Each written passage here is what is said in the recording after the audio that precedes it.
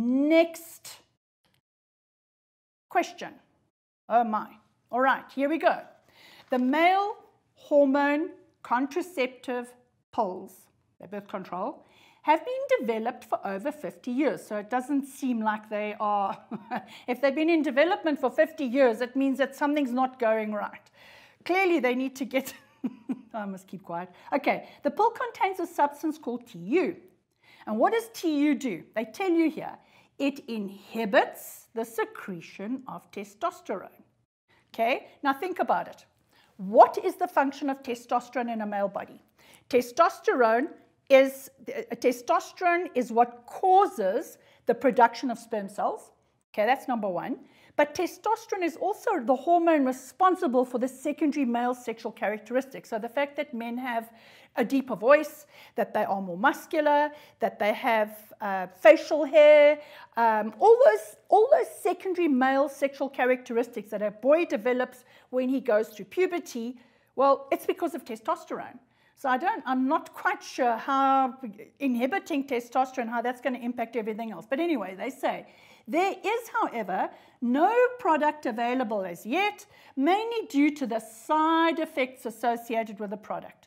Well, yeah, anyway, an investigation was done to determine how TU affects male fertility. So this male fertility is going to be your dependent variable.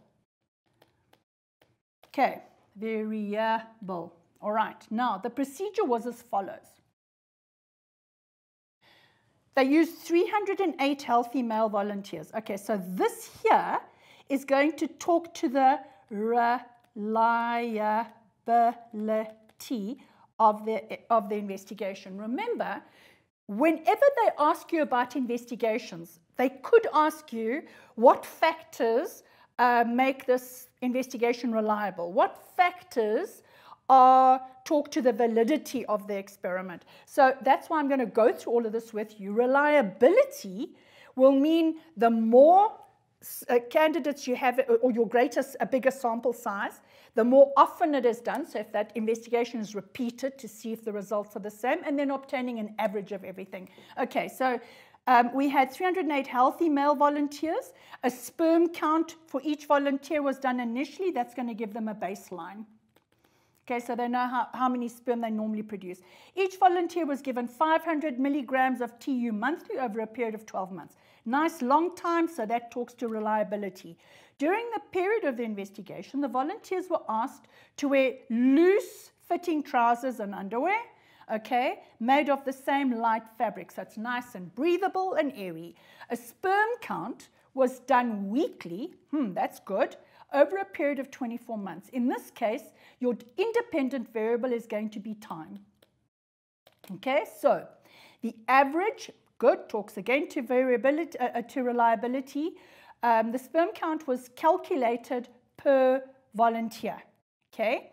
Oh, by the way, the fact that they were all given the same amount here talks to the validity. Okay and the fact that they were all healthy males, etc. All right, now sperm count refers to the total number of healthy sperm cells per milliliter in semen, and, is in, and that indicates male fertility. Remember, semen is a combination of the fluids from the two Cowper's glands, from the two seminal vesicles, and from the prostate gland, plus the sperm cells. Okay, so here we go. Right. Um, identified, we already said that a dependent variable was going to be male fertility, because that's what you're checking. Okay, male fertility. State how the dependent variable was measured. Well, it was measured by measuring the sperm count.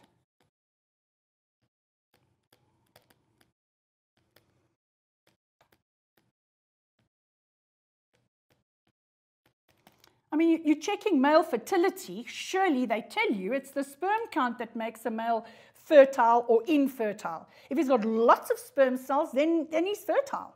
If he has very few, then, well, then there's a big problem. Okay, so name two other factors that should be considered when selecting volunteers. Okay, so let's see what factors they want two other. So they say here they have 308 healthy male volunteers. Okay, so what would we look at other than them being healthy? Um, we'd look at the age. We'd look at the age of the, of the candidates. We'd look at um, their diet.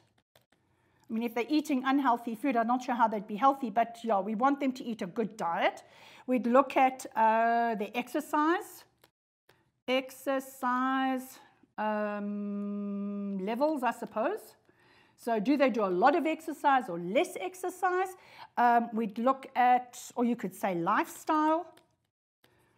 And lifestyle would also probably include the amount of stress that they have in their lives. Because remember, somebody who's under a lot of stress is also, that's also going to impact sperm count. So I would say the best one here is age, age and diet and exercise levels. Lifestyle, definitely a player as well. Okay, explain how TU reduces fertility. Okay, so let's just go back here. They actually tell you here. It says the pills contain a substance called TU, which inhibits secretion of testosterone. So, how do we answer that? I mean, think about it. They tell you here. How does it do it? Well, TU, sorry, capital, TU inhibits the secretion of testosterone. Testosterone. And therefore, um, no sperm cells will be produced. Why? Because that's what testosterone's job is. It's to stimulate the production of sperm cells. Well, if you don't have testosterone, you're not going to produce the sperm cells. You could also have said no spermatogenesis will occur or take place. Okay, no spermatogenesis literally means no sperm cells will be formed.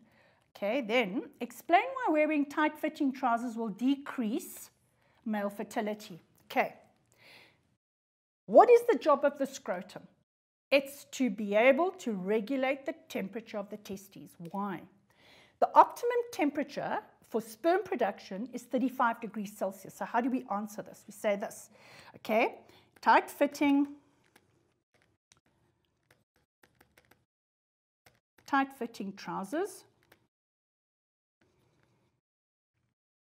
Um, prevents the scrotum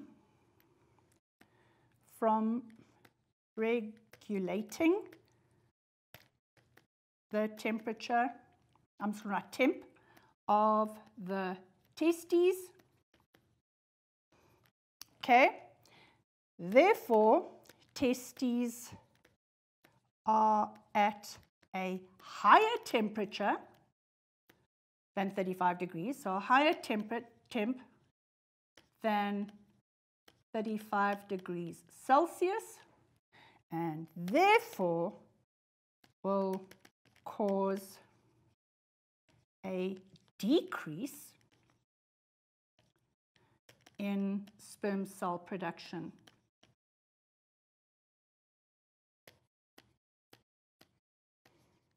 Because those tight-fitting trousers are not going to allow the, test, uh, the, the, scrotum to move down and up. They're going to be squished up, the testes are going to be squished up against the body, so the temperature is going to be higher than it's supposed to be. So you're just messing your body up. You should, all, you should never wear, guys should never ever wear tight trousers. Okay, so just one reason why doing a sperm count for an additional 12 months after stopping TU. So now let's just go back. Okay, they said here, if I recall, during the period of the investigation, oh, okay, so they did it for 12 months. And then a sperm count was done weekly for over 24 months.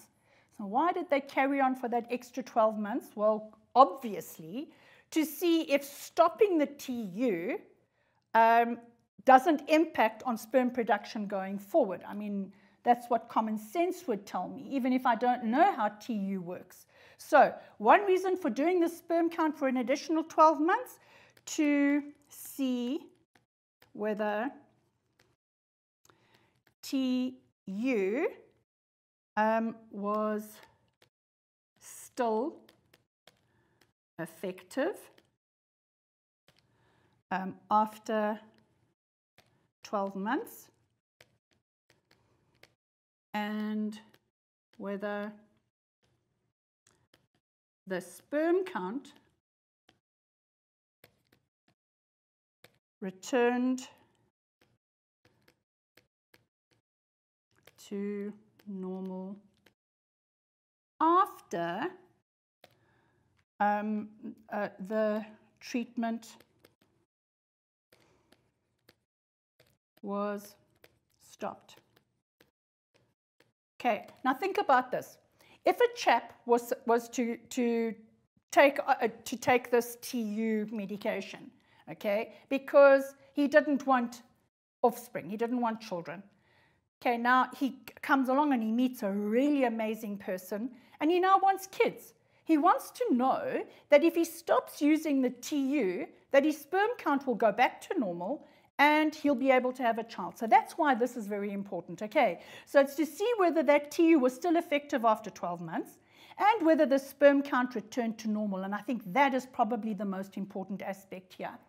Okay, then the contraceptive options currently available for men are limited to condoms and a vasectomy. Now, vasectomy involves the cutting and tying off of the vas deferens. Now, guys, think about this.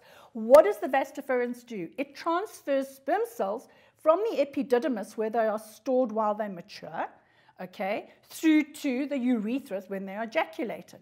Okay, so here, this, this answer is actually a giveaway two marks because you just say that no sperm cells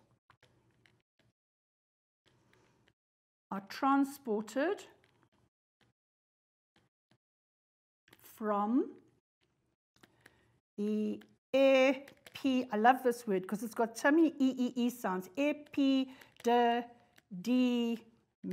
lots of eyes as well, epididymis to the urethra. Okay, um, so what's the result? Semen, which is that mixed fluid, the semen will not contain